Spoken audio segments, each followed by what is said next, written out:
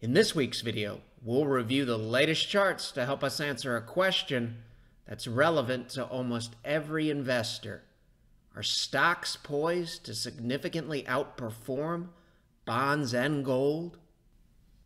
Near the end of last week's video, we said basically, we're not trying to make the bearish case, we're not trying to make the bullish case, we're making the case for what we have right now, which at that time was mixed probabilities. If we fast forward a week, the concepts shown on the screen here have been extremely helpful. We've been covering the 10-2 yield curve for well over a year now, and our message has been very consistent. And now that the 10-2 curve is inverted, our message is not going to change in any shape, form, or fashion. Typically, from a historical perspective, inversion is a very long-term and early signal as we've covered in the past. For example, first sign of inversion, 10-2 yield curve, financial crisis bear market. It occurred 651 calendar days before the S&P 500 peaked in October of 2007. Similar situation.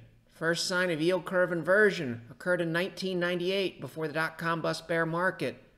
Did the market tank within days of inversion? No, it took 668 calendar days after the first sign of inversion for the S&P 500 to reach the major peak on March 24th of 2000. In the two anecdotal cases that we just covered, the average number of calendar days after the first sign of 10-2 inversion to the peak in the S&P 500 was 660 days. The average gain between the first sign of inversion and the major market peak was 32.09%. From a Yahoo Finance article, Tony Dwyer expands it. The last three cycles that have similarly been fueled by excessive use of leverage. Following initial inversion, rallies, median of 34%, 22 months, a recession was 24 months away. 2019 case obviously to be determined. This is the look of our moving average cluster here. Close August 26th. We still have somewhat of a mixed and indecisive look here. But it's pretty fair to say we look a lot more like these bullish examples. And from a longer term perspective and from a trend strength perspective, we really haven't taken on any of these negative characteristics yet. If price were to move down into this area, obviously that could start to change. So now that the 10-2 curve is inverted, what are we going to focus on relative to this issue? The same thing that we always focus on, the facts in hand. Credit spreads have actually improved in recent weeks. 4.48 on June 5th, 4.42 on June 6th. Fast forward to this week, August 28th. They haven't widened, they've narrowed to 4.17. 4.17 on August 28th really doesn't look anything like these concerning periods that we've covered in the past. As shown here, credit spreads can widen quickly, speaks to flexibility, but that has not happened yet. You can pause your video player if you want to look at this chart, or you can find it in our Twitter feed. But basically, the chase for yield ends when concerns about the economy and the threat of increasing default rates start to rise. That's exactly what happened in the 2007-2008 case. Nobody was chasing yield despite the fact that 10-year yields, treasury yields, were plummeting. Unlike the present day, high yield bond prices also fell. Why?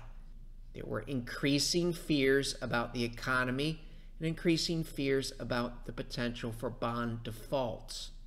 In the present day, the high yield market doesn't look anything like this here. That may change, but it hasn't changed yet. Similar theme relative to initial jobless claims. We don't want to see a quick spike in claims. We didn't get that this week. Four week moving average for claims actually down a tad. And nothing like this yet. It may happen soon, but it hasn't happened yet. How about national financial conditions? Are we anywhere near these numbers up here that we've covered in the past? The answer is no. We're still down here at negative 0.75. We've ticked up a little bit relative to previous weeks, but nothing overly concerning relative to these numbers we've covered in past videos. Many of these breadth charts that we're covering do not update until the evening, thus we are covering charts as of Thursday's close on August 29th. NYSE AD line weekly. Here's the low in the S&P 500. It held nothing alarming here. If it morphs into something like this or this, S&P 500, S&P 500, our concerns would increase. Similar situation here, NYSE common stock only advanced decline line. This is the look that we can tolerate. This is the scarier look, October through December, S&P 500 here. Thus far, we look more like this constructive period here than this concerning period here. This is the weekly version of the chart. Very, very similar situation with the daily version. This is where we held when the S&P 500 bottomed. Thus far, nothing shocking or surprising. NASDAQ AD volume weekly stays above the center line on the Bollinger Band. The S&P 500 rights itself. This is the ugly look we want to avoid. Here's the low in May. This is the look we want to embrace. And thus far, as of Thursday's close, this still looks constructive from a probability perspective. As we go through the charts this week, we have to think of the context a week ago from Twitter. As of the close last Friday, the Bears had some outstanding setups. And as of Thursday evening, they've really done nothing with them thus far. It's very, very possible relative to where we were last week that instead of looking like this, we could look more like this. This is the evidence that we have in hand. Again, we're going to be moving very, very quickly. NASDAQ monthly tape index. Here, S&P 500 bottoms. Here, the tape index holds S&P 500 bottoms in 2016. Right now, we're trying to make a stand in a similar area. This is the look we would want to avoid this is the look we would want to avoid. That may happen. It hasn't happened yet. Exact same concepts. Why are we covering so many charts? We use a weight of the evidence approach. These are the constructive looks here. NASDAQ Technical Index, weekly. S&P 500 holds, holds, holds. Constructive, holds earlier this year. Right now, we look more like the constructive periods don't really look anything like this yet. Continue to take it day by day. Similar situation here, we're looking at a rate of change version of the same indicator now. Indicator holds here, S&P holds, good things happen. Indicator holds, holds, good things happen, good things happen, good things happen. So far, we're still in the good things happen range and we haven't morphed into something more concerning like this or this over here. Continue to take it day by day. NYSE AD volume monthly bottom in 2009 S&P 500 holds here lows in 2016 held at the same basic area from a trend perspective in December of this year Thus far, we don't have anything that looks concerning like this look here, this look here, this look here, or this look here even. This is a monthly version. Similar concepts with the daily version. Constructive held here, S&P held. Bottom here, S&P holds in June. Present day here cross above the center line looks similar to that and that.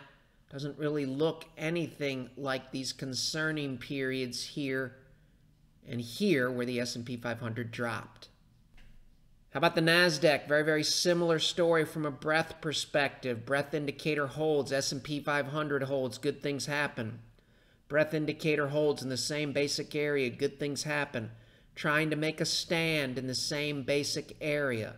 This chart and every single chart that we'll talk about in this week's video, it cannot predict the future. It simply helps us with the probability of good things happening relative to the probability of bad things happening. We'll learn something either way. This is the look of the indicator on Wednesday night when we're preparing for Thursday's session. And we did get a bounce at a good level on Thursday. Another breadth indicator, NYSE.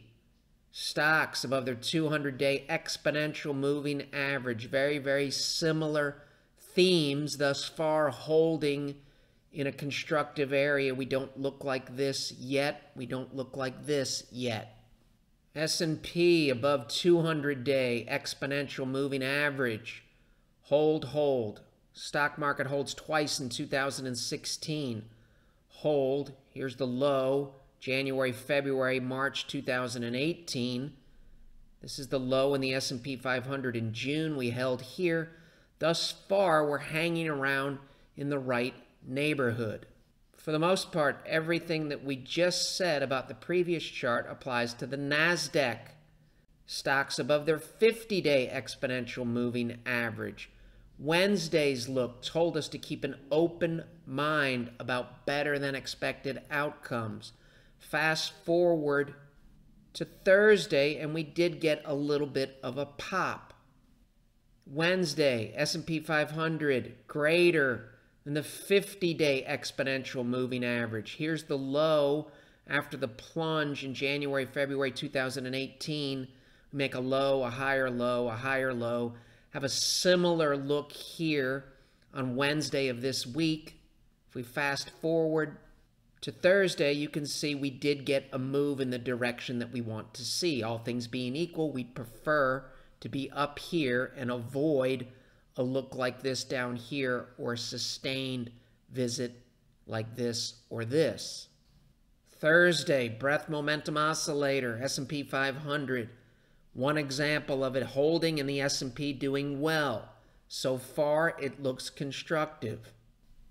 NYSE summation index trying to turn back up. Printing bottom fissure indicator, somewhat interesting. Once it drops below negative 11 and then turns back up, the probability of a bottoming process increases. You get somewhat of a confirmation when it turns up and crosses the 10-day moving average as it did the close Wednesday. If we fast forward to Thursday, you can see it improved even more. Did the signal work every time here? Absolutely positively no, because we know there is no signal that works every time. Here you get what appears to be a bullish signal and bad things happened.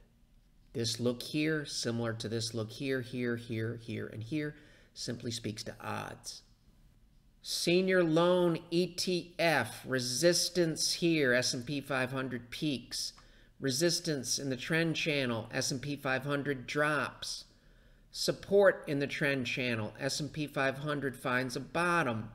It appears we tried to make a bounce here and we're moving in the right direction, similar to this. Not out of the woods yet here. S&P 500 bullish percent index. Does the present day look more like these two constructive periods in 2016 or these concerning periods here, 2015, this concerning look here, early 2018, and this more concerning look here in early October of 2018? The answer is easy. Present day looks more like this today. We'll learn something either way. NASDAQ Composite Daily RSI closed above 50 here, close above 50 here. Price closes above the center line on the Bollinger Band. Today we closed above the center line on the Bollinger Band. The bottom Bollinger Band is turning up. That's all good from a probability perspective. RSI clears, clears price. From a keep an open mind perspective, there's a lot of white space here. Wouldn't be shocking if the NASDAQ came down to this line here. We'll learn something either way. This is a daily chart of the NASDAQ. This is a weekly chart of the NASDAQ. Trying to close above the center line. That doesn't look like this concerning look here, nor this concerning look here. You can make an argument that the global Dow is in an area of potential support from numerous sources. Outcome to be determined. This look definitely tells us to keep an open mind about a move in this direction. The bank ETF on Wednesday here. Fast forward to Thursday, trying to make a stand. It's also possible it could come down to this line here. learn something either way. This look here, somewhat similar to this look here where the S&P 500 bottomed. This look here really doesn't look anything like this look here where the S&P 500 peaked or this look here where the S&P 500 peaked. All forms of support are potential or possible support. Back to the breadth themes. Does the present day look like the constructive periods in 2016 where the S&P 500 held? Or does it look more like this concerning period in Q4 of 2008 when Mr. Powell said we're nowhere near neutral, the answer is simple. Present day still looks like the constructive periods. Exact same questions, exact same answer. Thursday, August 29, 2019. Very, very similar questions. Does the present day look more like this constructive period here where the S&P 500 made a bottom in June? Or does it look more like this concerning period here below the center line with the center line rolling over and hitting the lower Bollinger Band. We don't have any of that here. Present day looks more like this relative to this. Very, very similar concepts here. These are things we want to avoid. 2007, upper Bollinger Band rolls over. White space between the indicator and the Bollinger Band. Crosses below the center line. The center line rolls over drops below the moving average, hits the lower Bollinger Band. All of it speaks to negative probabilities. Similar situation here. S&P does not do well. S&P does not do well. Drop below here, white space here. Bad things happen. Present day really doesn't look anything like those concerning looks. Covered this chart in recent videos. Does the present day look much different than these corrections here in 2016? The answer is no. This is still a relatively good looking chart. Similar situation. This whole correction thus far, as of Thursday's close on August 29th, has taken place above the 50 week moving average. That is in stark contrast to this period here or this period here, and in stark contrast to this period here. Notice this consolidation is taking place basically on the 50 week. Not the case here thus far. Notice here, 2018, the moving average cluster is rolling over, 200 day rolling over here, and we're consolidating. Instead of consolidating below a downward sloping cluster, we're consolidating around, above, and below an upward sloping cluster instead of consolidating maybe, let's say, 65%, 70% of the time below a downward sloping 200 day.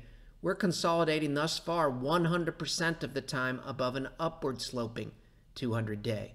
Doesn't predict the future, it simply speaks to probabilities at this point relative to somewhere in here. Haven't seen anything particularly shocking here. The Bears did not take advantage of the setups as of Thursday's close. We'll see what Friday brings. Door is still open to downside if the market chooses to take that path. S&P 500 daily Thursday's close above the center line. Above the center line here in June. Above the center line here in early January of this year. RSI above 50, RSI above 50. Today we closed above 50.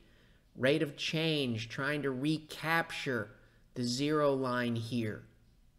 This also says we could easily move down to 2825 ish before moving higher. But in the last two instances, when we made a fairly clear break above the center line, we held it. That's to be determined. This is a weekly version of the chart. Very, very similar themes on Thursday. Above RSI 50. Rate of change thus far holding above zero, which is quite a bit different than early October of last year.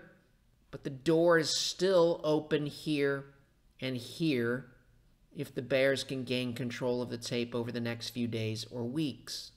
This is potential support if that happens, and this is potential support. Anything particularly abnormal yet from a fib perspective? The answer is no. We're holding above the 38.2% retracement thus far relative to this A to B move. This is an updated version of the chart that we tweeted here during the session on Monday, August 5th. And thus far, somewhat surprisingly, the market has held in this area here that featured numerous gaps up and down in the past. It's possible this is our support line. It's possible this is our support line. And it's possible neither of them act as support and we're moving in this direction. Right now, this is a constructive look with the magnet somewhat saying the white space is above here. We're at a minimum, the ratio of white space above is greater than the ratio of white space below. Hence, the scale in thought. If you scale in here, your risk reward is still pretty good, even if you come back down here and then go higher. Not assuming anything, just looking at the odds that we have in front of us today. This is a broader S&P 500 index. Instead of 500, it's 1500. Advanced decline percent weekly. Here's the look that we want to avoid in here. Present day really doesn't look anything like that. It looks more like the constructive period where good things happened. This is 10 year yields. Yields fall when bond prices go up. So when yields are majorly oversold, that means bonds are majorly overbought. Weekly chart as of the close on August 23rd. Only three times dating back to 1962 have we seen such an oversold reading on weekly RSI. What's happened in the past in both the stock and bond markets when the bond boat has gotten very, very crowded, arguably overcrowded? This is only the third time it's happened, thus, we have a very, very small sample size. But common sense tells us if this is a majorly overbought and rare condition in the bond market, the odds probably say bonds are going to lose money. And that's exactly what happened in these cases. If we walked forward from this point here and this point here, which is similar to August of 2019, this is the performance in the S&P 500 one year out, average and median gains roughly 30%. Really not that much different looking out two years, but still very, very favorable. But more importantly, on a relative basis, stocks in these two anecdotal cases crushed bonds. And that is not surprising at all. If this market is majorly and rarely overbought, that typically aligns with fear, typically aligns with stocks underperforming. And when that rare condition is cleared, RSI goes in the other direction. RSI goes in the other direction. Is it possible we have more of a, let's say, 2007 2008 case? The answer is absolutely positively yes, but we didn't get a reading like that in 2007 and 2008. And this shows you why it's very, very difficult to over allocate or diversify into bonds heavily at this point because while bonds are considered safe, when we get readings like this and this, bonds can actually be quite a bit more risky than the stock market. Obviously, the 2019 case is to be determined. Keep in mind with the small sample size, we did not pick this. We're showing you the entire data set. These are the only two cases that are similar to the present day. And if that concerns you, you can pause your video player and read this little blurb here. This is 10-year yields weekly. It's a daily version of the chart. Yields way down here in 2012. This is your breadth thrust low, similar to January, February this year. This is a correction here. Yields come down. Eventually, really good things happen in the stock market, and not so good things happen in the bond market. We've talked about the 2016 case. Here's your breadth thrust. Here's a pullback. Here's Brexit with a lot of fear. The bond boat is overloaded to one side. After this, eventually, really good things happen in the stock market and really bad things happen in the bond market. Present day case to be determined. Value line geometric index has been weak. Is there any reason to believe it may be near a point of support and a bounce? What once acted as resistance, what once acted as resistance, what once acted as resistance may now act as support, intersecting with potential support, potential support simply speaks to probabilities. A reversal here would align with a reversal like this in bonds, a reversal like this in bonds. Setup is similar to here. And a reversal here would align with a reversal like this in the stock market or a reversal like this in the stock market. All to be determined. It's extremely important to note we didn't cherry pick these cases. These cases look similar to the present day. We didn't cherry pick these cases. The market picked these cases. We're simply identifying them trying to find out in the past what happened next. And this is what happened next. It seems to align with common sense and human greed and fear. Remember we said this look here, similar to this one and this one, tells us why it's difficult to diversify heavily into bonds at this time because they might be risky. A similar situation in the gold market. Resistance here. We're at that same point now. If we got overly aggressive with our gold positions, this is what could happen. Or this. Not predicting that, but would prefer to see what happens here before adding to those stakes. This chart here is one of the reasons why we have gold positions, and this chart here on August 28th looks constructive relative to the stock market. If we can clear here, then we may see more of this, all to be determined. Here's another example of why it's difficult when things have been going poorly over the past few weeks to get aggressive with gold. How can that be?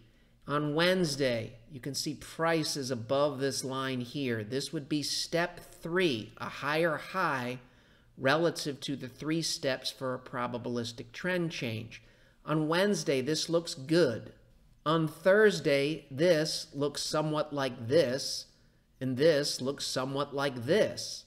In this case, if I loaded up on gold here, sold all my stocks, I would have been very, very disappointed for quite some time in here.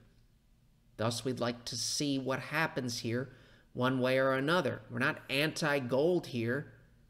We make decisions based on facts.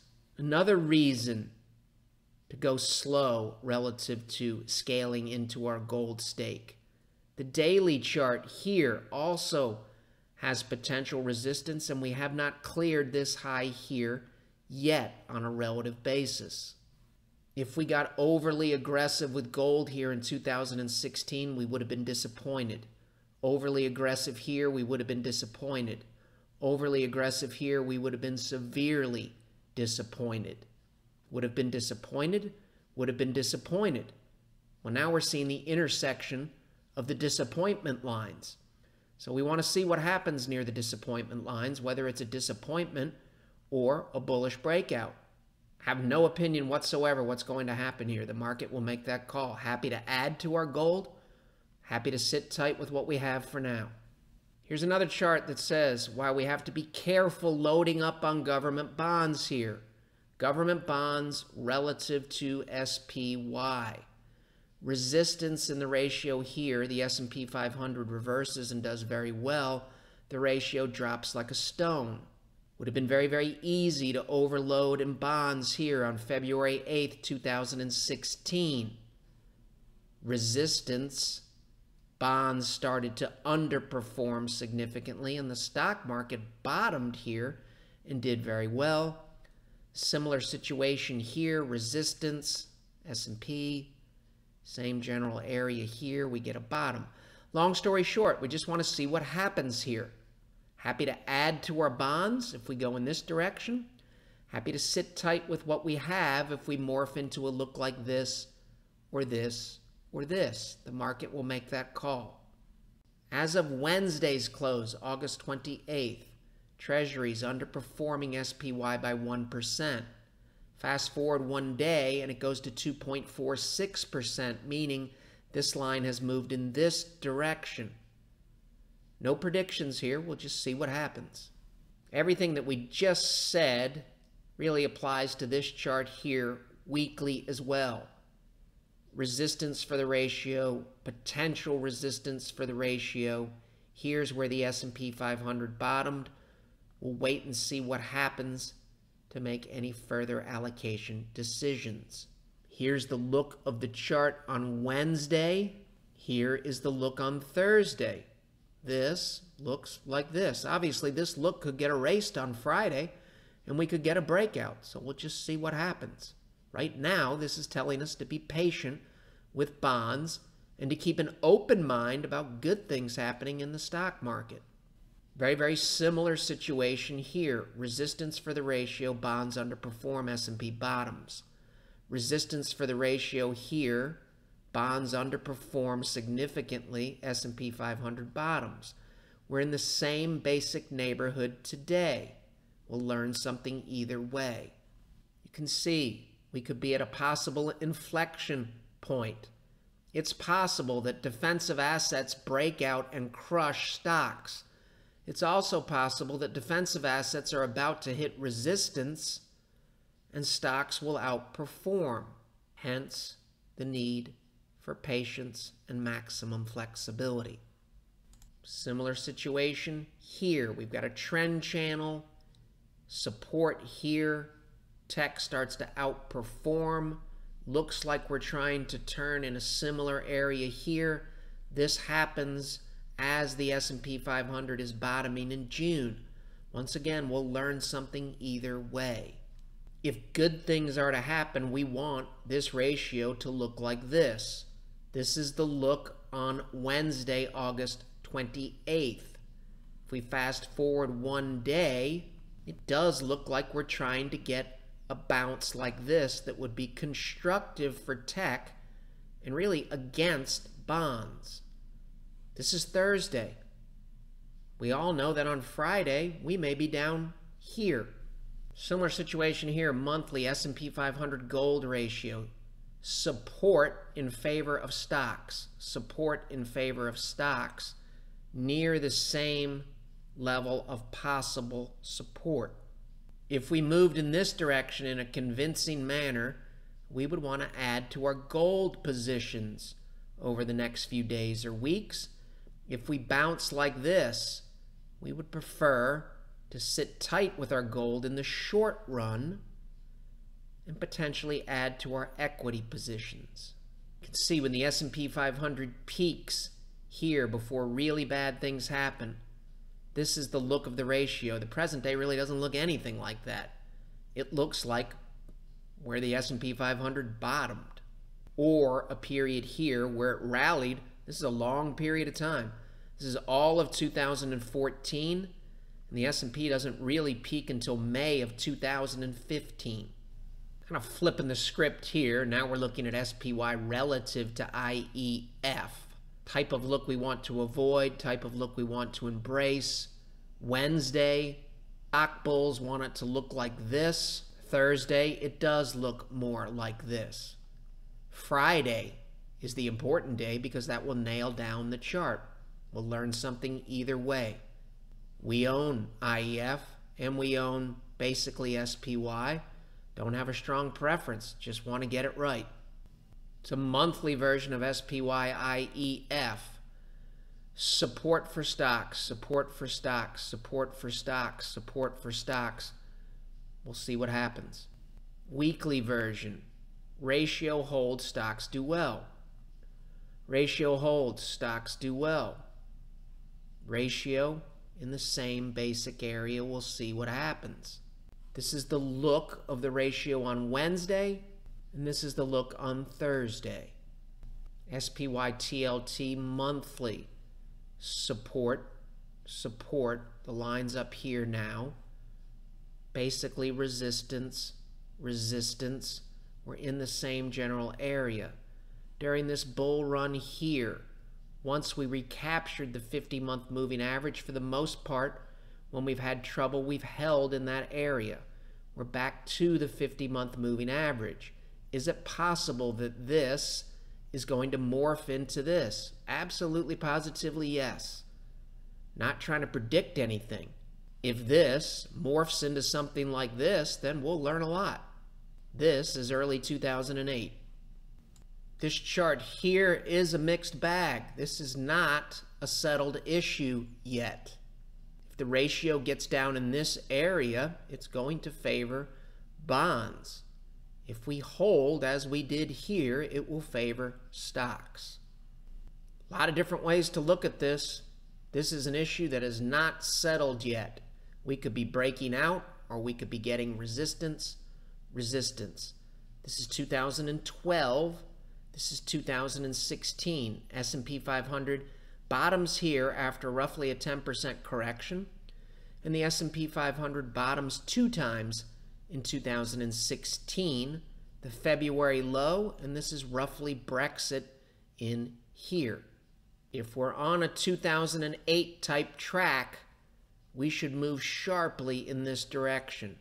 Similar way of looking at it, now we're looking at stocks versus a diversified basket of bonds. Think like AGG in the ETF world. Near the pink line, the S&P 500 has tended to make a stand. We're near the same pink line now. Could this morph into something like this in 2008? It could. That's why we want to try to see what's going to happen. It's a mutual fund version here. If you look closely, you can see price is down below the red line here on Wednesday. On Thursday, we're back above the red line and above an upward sloping 50 month. This is telling us right now we could morph into a look like this where we want to own stocks and we really don't want to load up on bonds, or we could morph into a look like this where it's absolutely the polar opposite. We don't want to be anywhere near stocks and we want to add to our bonds aggressively. The market will make that call. Right now, this is an uptrend that appears to be intact.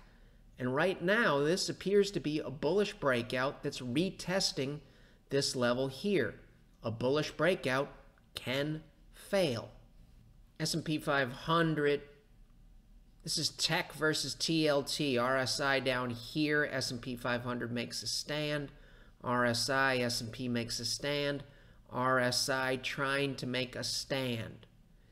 Here's the look of the chart on Wednesday. If you're a bull, you want it to move in this direction. Here's the same chart on Thursday. We'll learn something either way.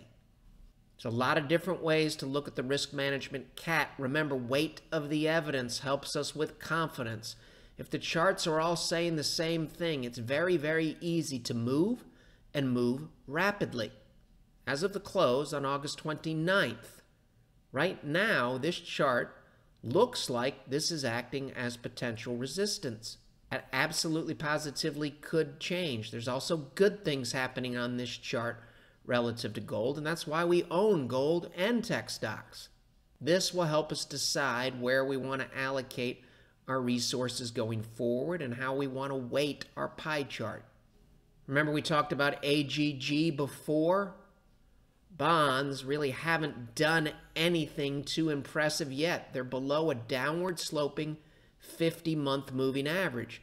That's in stark contrast to the early stages of the bear market where we're above the 50 month and then it turns up. The housing market can also help us with long lead times. So when housing sales start to drop, the probability of a recession increases. Right now, home builders look like they're trying to break out.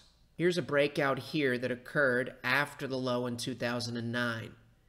Here's a breakout that occurred here. This is your breadth thrust in the S&P 500 and in here this is our roughly 10% correction in the S&P 500.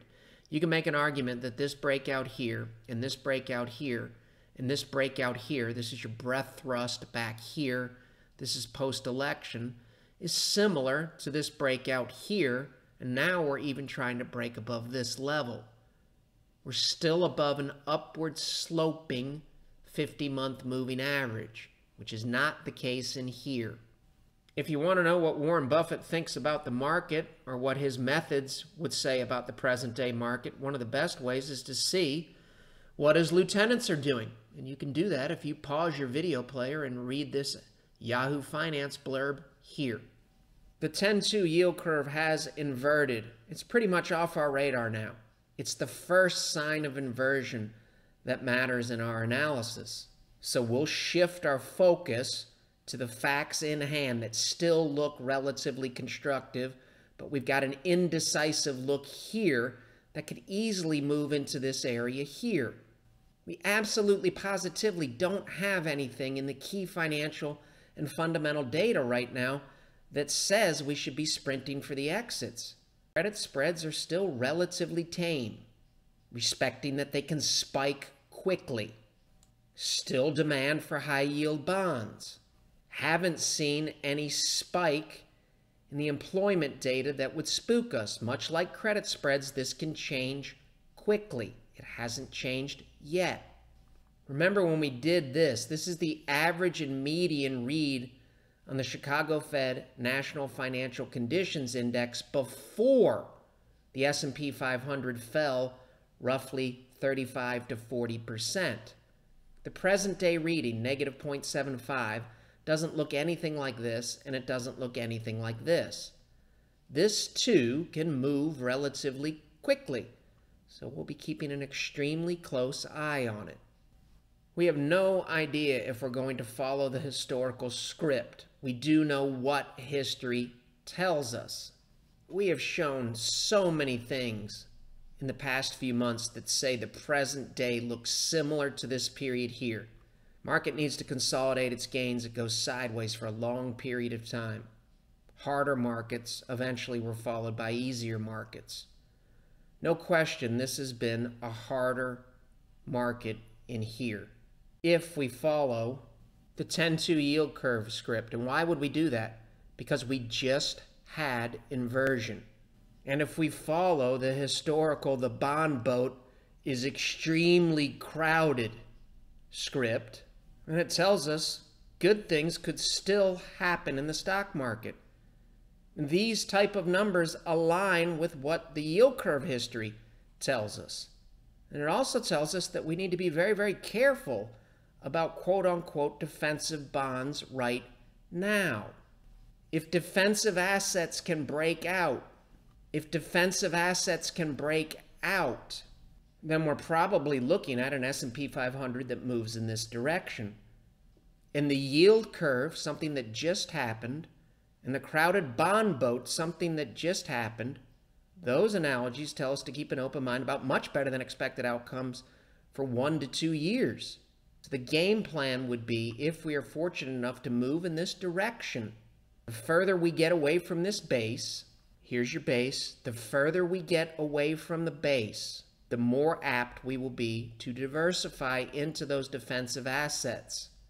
We prefer to pick up more bonds and gold, not when those boats are overcrowded, but when those assets are underloved in here.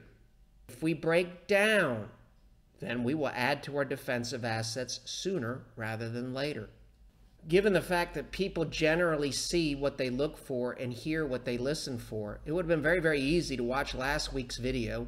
Some people might have said, the data is bearish. Some people might have said the data is bullish, and some might have said it's mixed. The correct answer last week, if you had a flexible, unbiased, and open mind, was that we had mixed probabilities. Mixed probabilities call for maximum flexibility and no ego. Forget what your last trade was. Do the right thing based on the data that you have in front of you. If we continue to do that, we should be in good shape regardless of whether we get a breakout to the upside in stocks or a shocking breakdown to the downside. As always, we'll head into next week with that flexible, unbiased, and open mind. It may also be worth a visit to the new website to see the FAQs. We've got new and expanded FAQs covering traditional investing, low cost passive investing, and the online slash robo strategies that are currently in vogue. The material in this video has no regard to the specific investment objectives, financial situation, or particular needs of any viewer. This video is presented solely for informational purposes and is not to be construed as a solicitation or offer to buy or sell any security or any related financial instruments, nor should any of the content be taken as investment advice. Any opinions expressed in this video are subject to change without notice, and Ciovacco Capital Management LLC or CCM is not under any obligation to update or keep current the information contained herein. CCM and its respective officers and associates or clients may have an interest in the securities or derivatives of any entities referred to in this material.